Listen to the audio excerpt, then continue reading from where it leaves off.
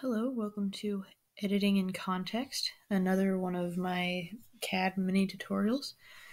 So, first of all, I have this document here, and uh, you're going to be copying this document today. I actually have it, I'll put the link in the description, but you can also go to your, um, if you go to your documents page once you log in, and then type in this name uh, FRC 4272 Onshape mini lesson editing in context. You can probably find it there as well.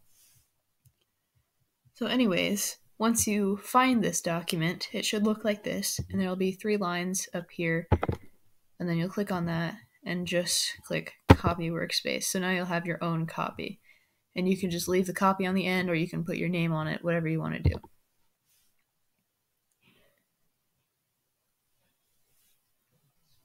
So wait for that to load. In order to make a part studio in context, which I'll explain what that means in a second, you need to go to the assembly because you can only make part studios in context of an assembly. And you'll insert the plate here. So you always need to make an assembly before you can do anything in context. And the hex shaft is for later, just kind of a little uh, refresher on mating. So now you go to the top right of the assembly toolbar and click on the button that looks like a Part Studio symbol with a plus sign, and that is Create Part Studio in Context. And it'll ask for an origin, just select the origin right there, and then just click the green check mark. So when a part studio is created or edited in context, it means that a see-through version of your assembly shows up in your part studio. You can use geometry from your assembly. So, say you wanted to use exactly how big these circles were, you can do that. Um, in many cases, you can just duplicate a part studio and make a new part a new part from there, or you can just replicate it in an assembly. It just depends on what you're wanting to do.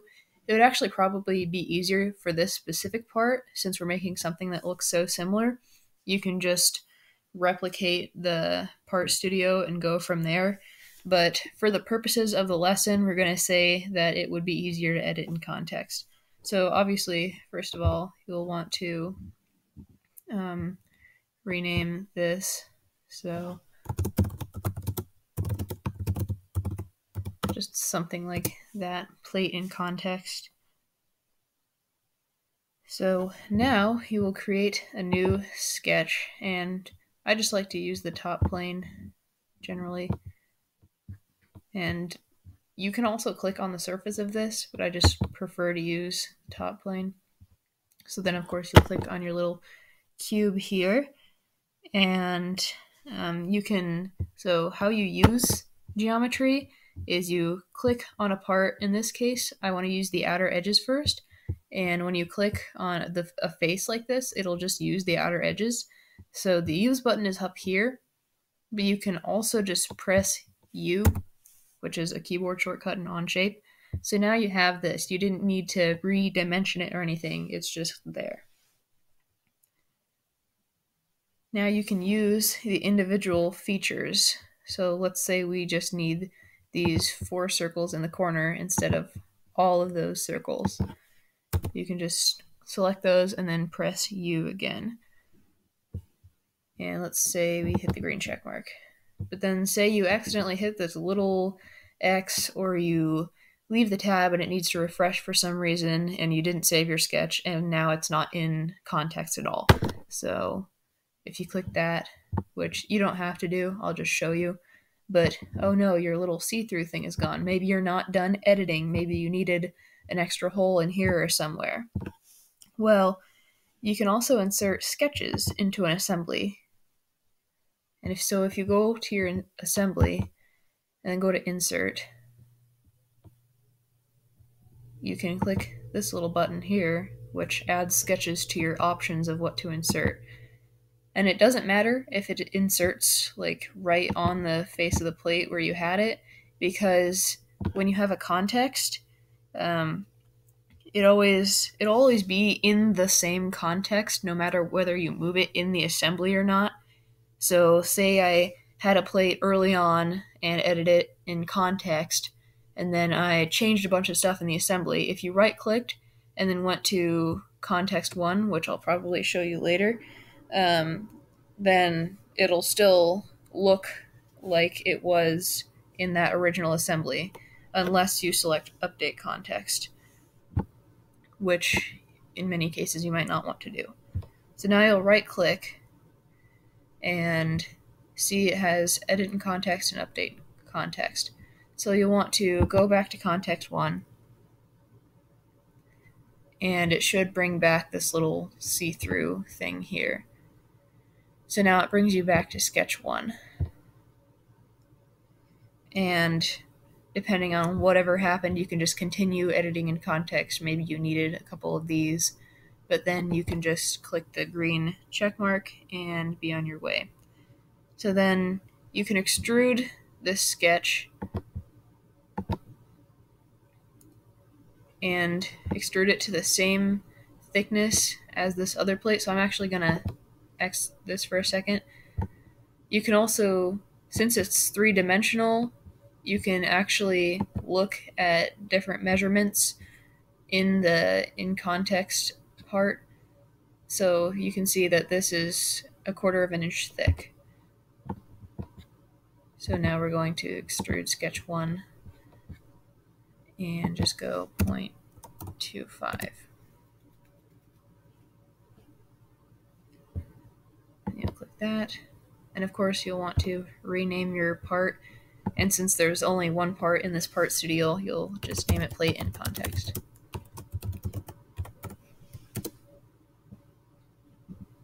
And now, here's the fun part about editing in context. You can just insert and go to assembly. It kind of automatically inserts it for you and then you'll have to select the items you want to insert, and you'll just click the check mark.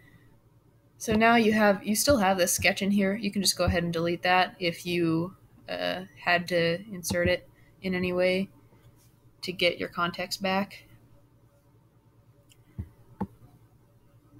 So now, as you can see, you have these two in your assembly. What you can do now is just take this hex shaft and you'll actually want to put in in there four times.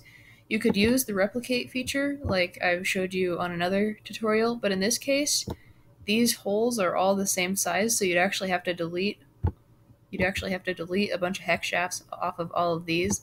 So it would probably actually be more work instead of just doing each individual fastened. So now you'll just mate these, and I don't know why they inserted quite like that, but that's alright. So you'll just make sure the little icon thing is in the middle.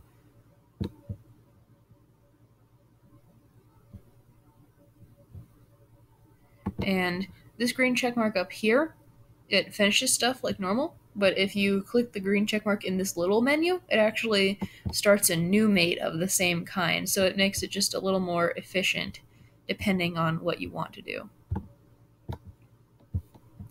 So we'll go ahead and do this.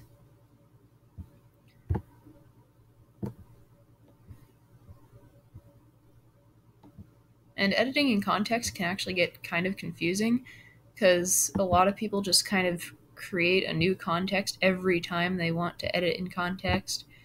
And sometimes you get confused on which context is what. And I don't think you can name them. I'll have to look into that.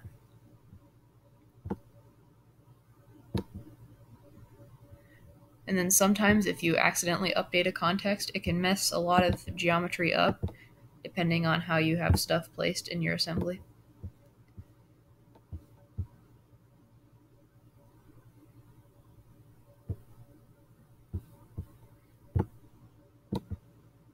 So once we've done four of these on here, you really only need to do one of these to one of the corners because then it'll be fixed in place and what I mean by that is just you only need you don't need to remate this four times to the other plate because now it's all the mates are all already in place. So in something like this, obviously this is not how it's going to end up, but there's this little solve button so you can just see how it looks before you actually decide to finish the mate.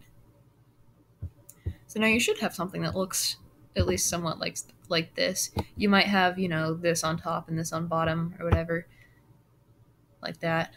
And then you should be able to just drag this around and nothing should come apart. You can also edit parts in context when they already exist in an assembly. You don't have to create a new part in the assembly. Like if I put this in here and then said edit in context, then I could do that as well. And that would create a new context. So, thank you for watching.